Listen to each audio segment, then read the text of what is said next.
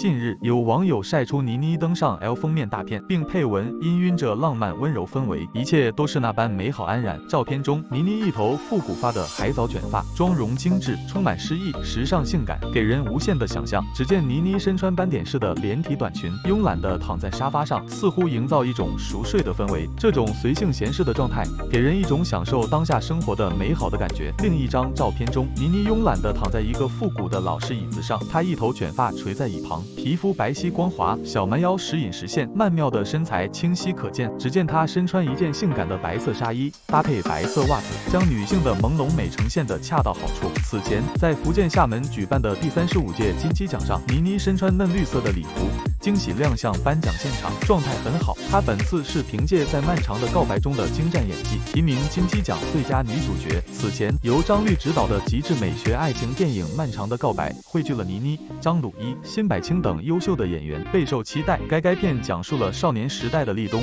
曾爱慕过一位叫阿川的女子，在历经近二十年的深情等待，俩人再次相遇，这份深藏心中的爱，也在这场远赴他乡的主爱中愈演愈烈的故事。在前不久的金鸡颁奖典礼上，《漫长的告白》获得第三十五届中国电影金鸡奖最佳中小成本故事片提名，实至名归。